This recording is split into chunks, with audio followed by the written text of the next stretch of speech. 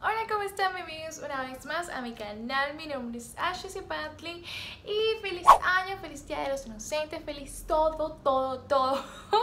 y espero que se encuentren muy bien y se estén cuidando. El video del día de hoy va a ser un tanto diferente. Incluso pueden darse cuenta que el ambiente es diferente. Estoy sentada en mi sala.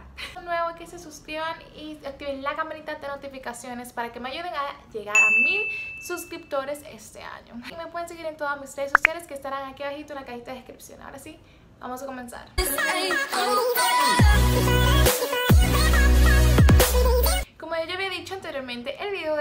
Va a ser diferente porque les traigo mis propósitos de este año. Y además que he visto que muchos youtubers lo están haciendo, entonces decidí compartirles con ustedes los propósitos de este año. Tengo acá una nueva agenda para este 2021, así que tengo anotado en esta agenda mis propósitos de este año y les voy a compartir.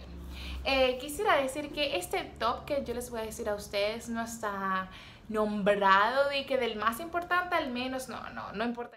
Entonces, tengo aquí escrito mis propósitos acá. Eh, recuerden, tomen en cuenta que no lo estoy escribiendo de que el más importante al menos, no, no importa el orden, ¿bien? Check, ok. Uno de mis propósitos de este año es crecer en YouTube. En realidad quiero llegar a tener 500 suscriptores o más de 500 suscriptores es uno de mis sueños en realidad porque ustedes son mi familia y son lo más importante que tengo en realidad. Mi siguiente propósito es poder graduarme y tener una beca completa a la universidad de mis sueños. Eh, siempre ha sido uno de mis sueños desde niña, desde que mi hermana mayor se graduó del colegio y entonces he querido como que seguir sus pasos, ella ha sido un ejemplo para mí para seguir. Entonces desde niña siempre he querido ir a esta universidad a la cual le voy a aplicar y esperemos que de aquí a agosto poderles darle la buena noticia y decirles qué carrera escogí para estudiar. El siguiente propósito es que tener mi licencia de conducir. Sí, tengo 17 años y todavía no sé conducir. Nunca he aprendido un auto en mi vida porque soy tan miedosa y tan cobarde.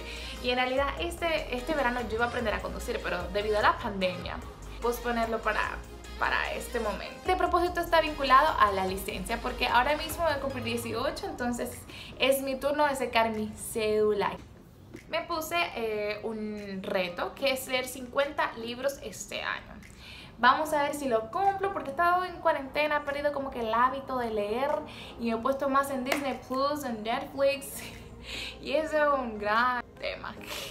Y por último, pero no menos importante, es que quisiera implementar una rutina más sana y no dejarla.